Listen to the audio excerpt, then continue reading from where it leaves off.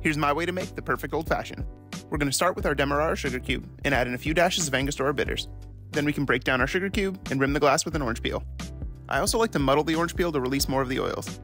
Now we can add a splash of club soda and stir to dissolve a little bit of that sugar. Then just place your ice cube in the glass and grab your whiskey of choice. Today I'm using Old Forester Rye. Just give it a pour, followed by a gentle stir. And the final step is to drop in your cherry and enjoy. Make sure to follow for more.